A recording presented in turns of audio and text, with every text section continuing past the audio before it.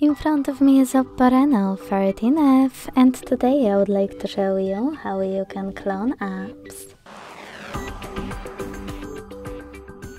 Begin by opening settings and scrolling to hit apps. Then tap on app cloner and click on agree and continue in the pop-up. Now select any of your apps you wish to clone. Use gray switcher next to create app clone and wait. Then adjust to available options. You can rename your cloned app and hit save to save its new name. And also tap on default app to open option to select one of those. When you finished, go back. Thanks so much for watching. If you enjoyed this video, leave a like, comment and subscribe. Bye!